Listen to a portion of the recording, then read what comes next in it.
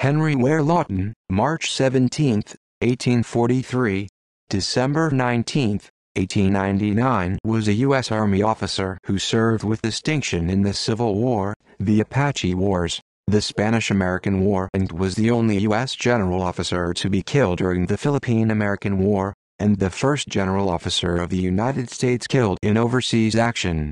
The city of Lawton, Oklahoma, takes its name from General Lawton, as does a borough in the city of Havana, Cuba.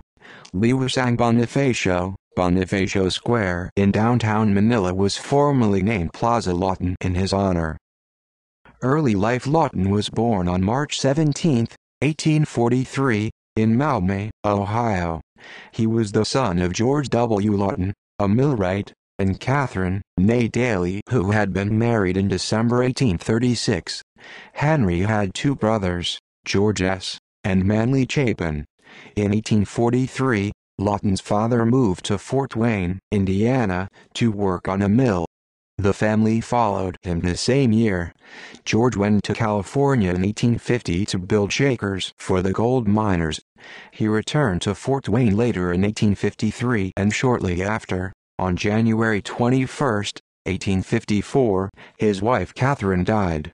She had been living with family members in or near Birmingham and Sandusky, Ohio during George's absence.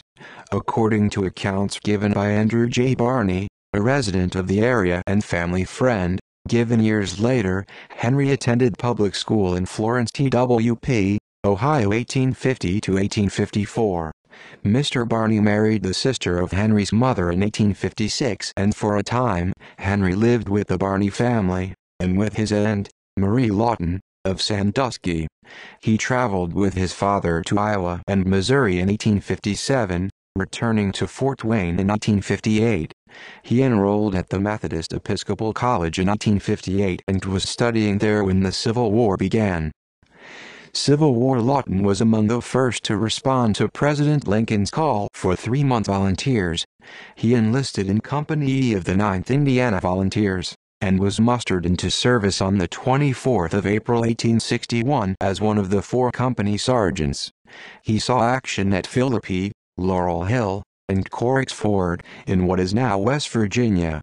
He was mustered out on the 29th of July 1861 and returned home. Colonel Sion S. Bass was then organizing the 30th Indiana Infantry, and Lawton re-enlisted. The 30th Indiana Infantry mustered into service on August 20, 1861. Lawton was his company's first sergeant but was promoted to first lieutenant on August 20. The 30th joined the Army of the Ohio, under General Don Carlos Buell in Kentucky and remained there for a brief period. The Army moved on to Tennessee early in 1862. Its first major engagement would be at the Battle of Shiloh where Lawton's regiment suffered heavy losses. Lawton had experienced one of the bloodiest battles of the Civil War. His unit moved on and fought at the Siege of Corinth in Mississippi. Lawton's unit also fought at Iuka while attached to Buell's forces. At the age of 19, on May 7, 1862, Outside of Corinth, he was promoted to the rank of captain. He fought at the battles of Stones River and Chickamauga, in all, at over 22 major engagements. He received the Medal of Honor years later for his bravery at the Atlanta campaign. He was a brevet colonel at the end of the war. After the war, Lawton became a companion of the Military Order of the Loyal Legion of the United States. Indian Wars after the Civil War. He studied at Harvard Law School, graduating in 1866, before returning to the Army. Lawton wished for a captain's commission in the Army, which was not forthcoming. Generals William Tecumseh Sherman and Philip Sheridan wrote recommendations supporting Lawton's efforts to rejoin the Army.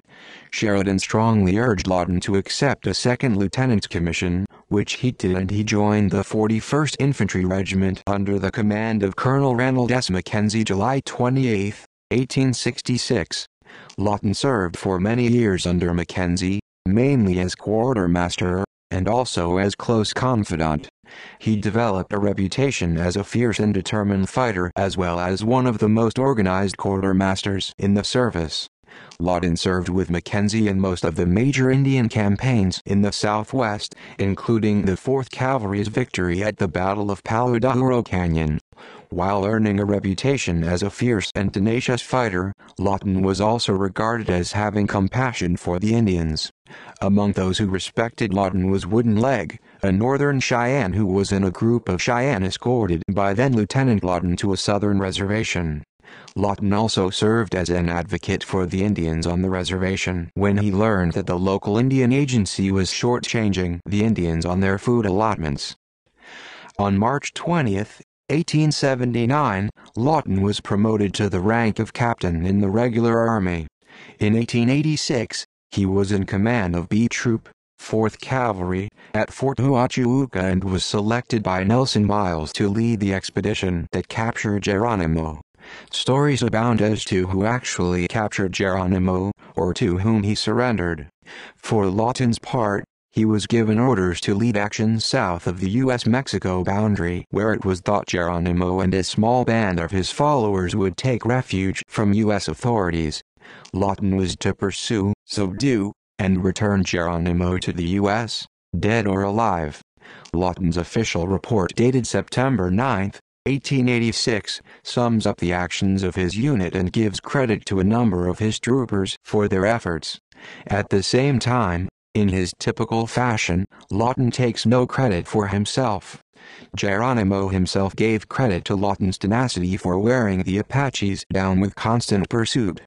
Geronimo and his followers had little or no time to rest or stay in one place. Completely worn out, the little band of Apaches returned to the U.S. with Lawton and officially surrendered to General Nelson A. Miles on September 4, 1886. While the debate over the person to whom Geronimo surrendered goes on, it should be remembered that Native Americans rarely surrendered to junior officers. They surrendered to general officers or higher. At various times after the campaign, Lawton was questioned by friends about the campaign. He remained tight-lipped and stated that his unit simply pursued Geronimo and brought him back.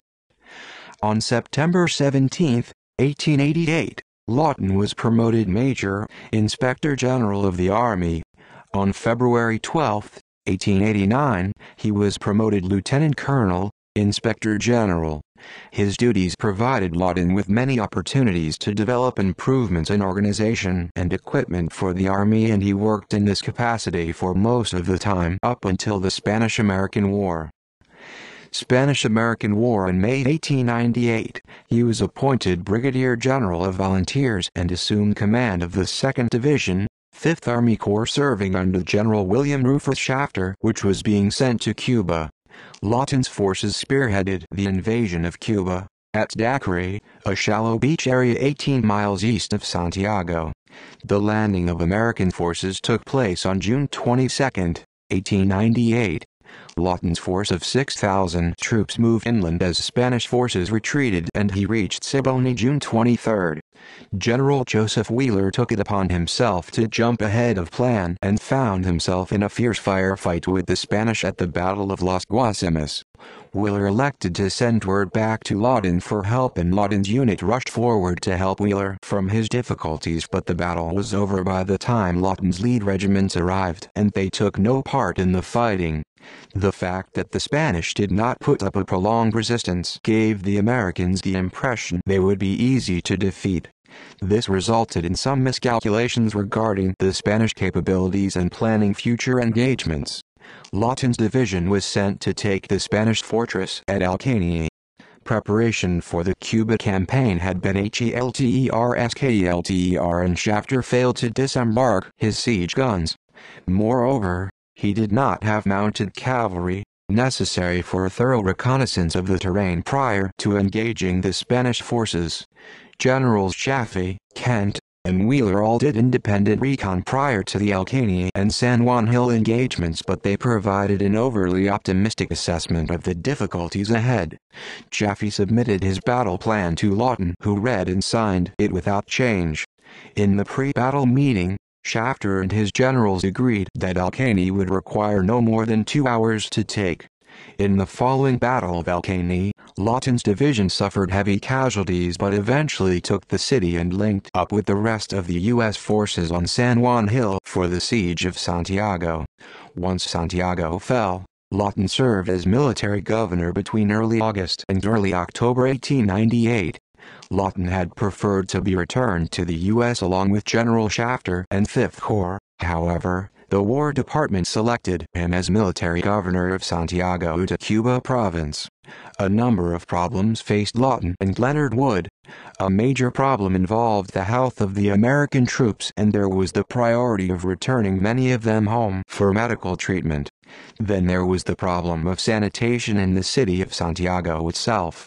Many of the residents were undernourished, ill and in need of medical attention. Civil disorder had to be settled down and unruly Cuban soldiers, still bearing arms, were ordered to remain outside the city. Conflicts with the police occurred as they were holdovers from the Spanish regime and continued to treat the citizens in an oppressive fashion.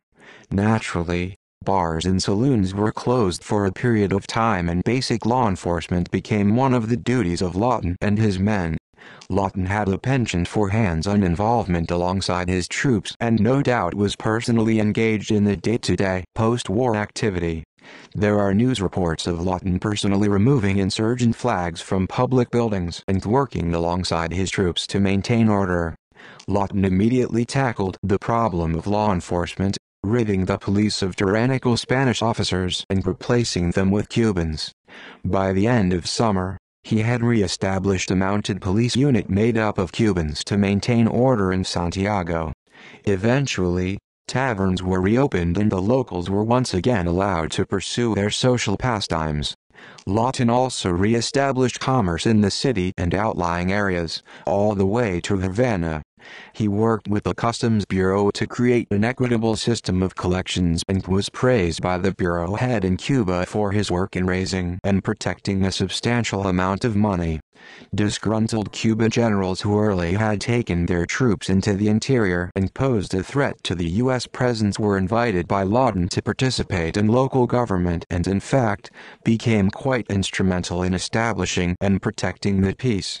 Lawton suffered from a fever, possibly malaria, on and off between July and October. This fact was detected by only a few correspondents. For his part, Lawton did not make light of the illness except to a few close friends with whom he corresponded. His real condition may have been recurring malarial fever since he had been diagnosed with the illness, as well as dysentery in 1876. According to National Archive records, the army surgeon who diagnosed his condition at that time recommended a six months leave in a different climate from the one in which he was stationed. His illness forced him to take a medical leave of absence on October 6, 1898. He returned to the States on October 13 and shortly thereafter, began his preparation for the assignment that would take him to the Philippines. It has been speculated that Lawton may have been relieved due to drinking, yet, no evidence has surfaced to confirm that rumor. One source for the information was a phantom unnamed correspondent for the New York Evening Sun and the second was Leonard Wood, a moralistically intolerant person who was later believed by many in the army to have stabbed his friend Lawton in the back. Considering the number of correspondents in Santiago on the prowl for news, or possibly a scoop, any misbehavior on the part of a senior American general would have been detected and reported. Not one irregularity showed up about Lawton over the course of three months and hundreds of news reports. Private letters to close personal friends in the U.S. from Lawton revealed that he was concerned with a number of his troops suffering from disease. The fact that he, Lawton was experiencing a fever and perhaps malaria, and his own dislike of assignment to a desk job. He was already looking ahead to a role in the Philippine campaign. Whatever reason for his return to the States, he came back as a Major General of Volunteers, having been promoted within a week or so of his landing in Cuba. When Lawton returned, he joined General Shafter for a short period of time and then went on to Washington, D.C., where he was in conference with President William McKinley, Adjutant General Henry C. Corbin, and Secretary of War Russell A. Alger concerning conditions in Cuba. He also testified before the commission investigating the Santiago campaign and was given temporary command of the 4th Army Corps in Huntsville on December 22. On December 29, Secretary Alger announced to the press that Lawton was being placed in command of the Army Field Forces in the Philippines and would be reporting to General Elwell Stephen Otis, the military governor, within a short time. Lawton also toured the country with President McKinley and other dignitaries during the Peace Jubilee. Philippine-American War with the fighting against the Spanish over, Lawton was transferred to the Philippines to command the 1st Division of 8th Army Corps during the Philippine-American War. There, he played a significant part in the military victories during the first part of the war, scoring victories at Santa Cruz and Zapote Bridge. He was able to inspire troops by his personal leadership and successfully incorporated tactics learned while fighting Indians in the American West. His competency and military achievements made for bad relations between him and the 8th Corps commander, Elwell S. Otis. Despite this, Lawton was very popular among his men and the general public and was so respected by the colonial Americans in the Philippines that his image appeared on Filipino currency issued during the American colonial period in the 1920s. A major plaza in downtown Manila was named Lawton Plaza. Although renamed in 1963 to Liwasang Bonifacio, Filipinos continue to refer to it as Lawton. After the Battle of San Isidro, a letter arrived at the 8th Corps headquarters with the message, Otis, Manila, convey to General Lawton and the gallant men of his command congratulations on the successful operations during the past month, resulting in the capture this morning of San Isidro. The letter was signed by President William McKinley. Lawton continued to experience personal attacks on his reputation. General Charles King, upon returning to the U.S. had dinner with General William Shafter. Shafter informed King that someone high in the chain of command in Manila was spreading rumors about Lawton being on drinking sprees in Manila which King emphatically denied. King wrote Lawton about his meeting with Shafter who in turn wrote Adjutant General Corbin. Apparently the rumors caused General Otis to write to the Adjutant General on July 11, 1899. Corbin in turn wrote McKinley's personal secretary who had inquired about the rumors and labeled the whole affair as mischievous gossip. The letters are located in the McKinley Papers, Volume 36, Reel 7 of the Library of Congress. General Emilio Aguinaldo, first president of the Philippines, referred to Lawton as the General of the Night. When asked why he used that reference, Aguinaldo replied that Lawton was a night general and had attacked him. Aguinaldo so often at night, he never knew when Lawton was coming. During the Battle of Paye, Lawton, as usual, was in the midst of the fighting and was killed by a Filipino sharpshooter, coincidentally under the command of a general named Licerio Geronimo. He was the highest-ranking American officer to fall in battle in either of the Spanish-American or Philippine-American wars.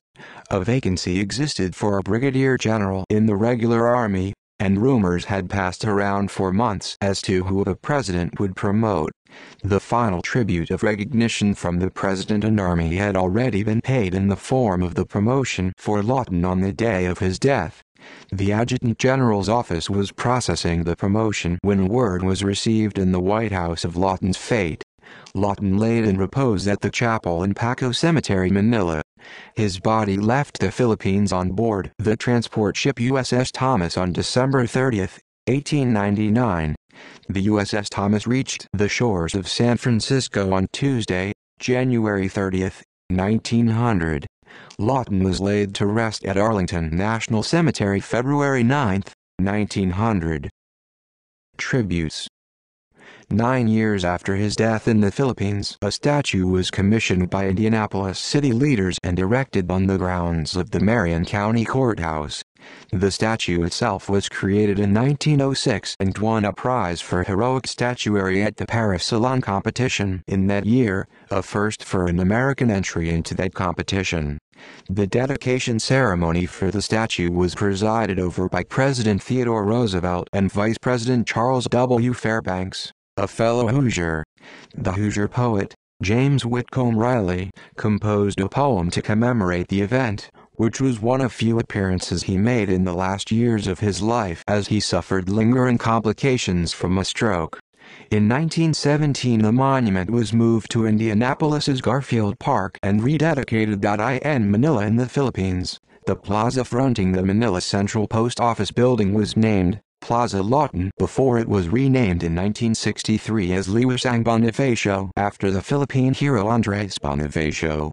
Today, the name Lawton is used to refer to the area in between the post office building, including Liwasang Bonifacio and the Manila Metropolitan Theater all the way up to the park and ride in Padre Burgos. In addition, the main road leading to the Manila American Cemetery was named Lawton Avenue in his honor. In 1899, the Army named a fort after Lawton. Fort Lawton was located just northwest of downtown Seattle, near the residential neighborhood of Lawton Wood. While Fort Lawton was a quiet outpost prior to World War II, it became the second largest port of embarkation of soldiers and materials to the Pacific Theater during World War II. The fort was closed by the Army in 1971, and today the bulk of the land makes up the city of Seattle's Discovery Park. In 1899, the Lawton Glacier in Alaska was named for him. For reasons unknown, the spelling was subsequently changed to Lawton Glacier. Lawton, Oklahoma is named after the general. San Francisco's Lawton Street is named after him. He is portrayed in the 1997 miniseries Rough Riders by actor John S. Davies. Awards Medal of Honor Civil War Campaign Medal Indian Campaign Medal Spanish Campaign Medal Army of Cuba Occupation Medal Philippine Campaign Medal. Note With the exception of the Medal of Honor, all the awards listed above were established after General Lawton's death. Medal of Honor Citation Rank and Organization Captain Company E, 30th Indiana Infantry. Place and date At Atlanta, GA, August 3, 1864 entered service at Fort Wayne, Allen County, Ind. Birth, Ohio. Date of issue, May 22, 1893. Citation. Led a charge of skirmishers against the enemy's rifle pits and stubbornly and successfully resisted two determined attacks of the enemy to retake the works. See also List of Medal of Honor recipients List of American Civil War Medal of Honor recipients G. L. Young Scouts. References Rao, R. Lawton Forgotten Warrior A Commemorative Biography, copyright 1998 Library of Congress Rao, R. General of the Night Henry W. Lawton A Biography, copyright 2007 Library of Congress Wilcox, Marion, Harper's History of the War, Harper, New York and London, 1900 sometimes called Harper's History of the War in the Philippines, Henry Ware Lawton. Claim to fame. Medal of Honor recipients. Find a grave. Retrieved November 25, 2007. Spanish-American War. Retrieved September 29, 2010. The California Military Museum. Retrieved September 29, 2010.